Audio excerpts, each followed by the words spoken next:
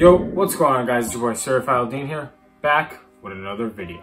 In today's video, we'll be reviewing the Nike Off-White Rubber Dunk. But before that, make sure you guys hit the subscribe button and like the video if you are new. It'll always help the channel out so much. And if you are new to the family, make sure to join by hitting that subscribe button. Let's get behind the camera and review these Off-Whites. Starting with the box, you do get this metallic silver all around with your holes that Virgil likes to do and you get your Nike swoosh on the top of the box and more holes all around the side. But let's get into the box label. It reads Nike Air Rubber Dunk OW, which is off-white.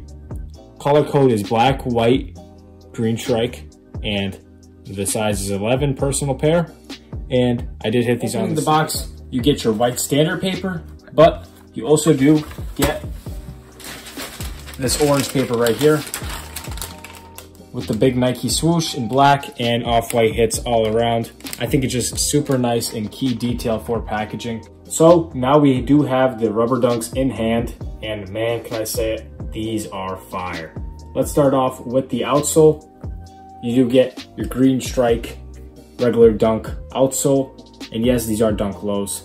Moving on up from the outsole, you get this primarily black midsole, but what's different here is that there's an air unit in the midsole. Usually the Dunks do not have an air unit. It is just pure midsole, and it does have that green stripe. So moving on from the upper of the sneaker, it gets a little crazy. You get this green strike swoosh with your orange tag, which is always classic. You also do get the zip tie in orange, which does have that carpet material on top. It isn't like your regular off-whites where it does read off-white 2020.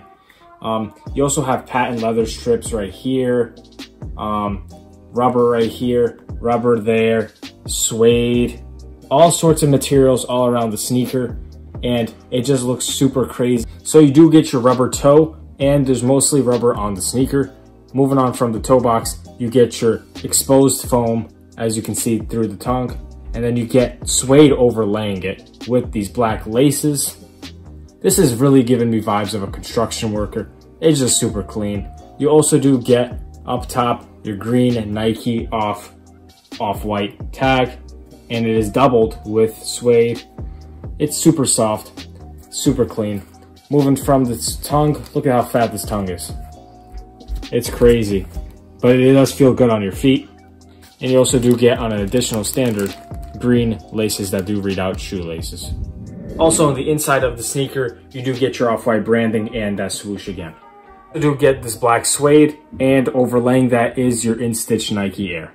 I do get this enlarged black swoosh and your off-white branding all around.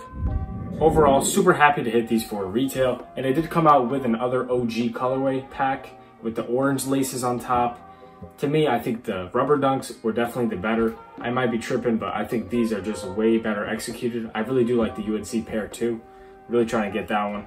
But yeah, let me know guys down below if you did hit the dub on these or took an L. I did see some people hit up my inbox and they said that they took dubs on these, so I'm happy for the guys that did. Um, overall on feet, you guys will see this is a very comfortable shoe. It does look heavy, it does look all that, but it is very comfortable. So make sure you guys stay tuned for the on feet. Thank you guys so much for watching. Make sure to hit that like button and subscribe to the channel if you are new. And I'll catch you on the next one.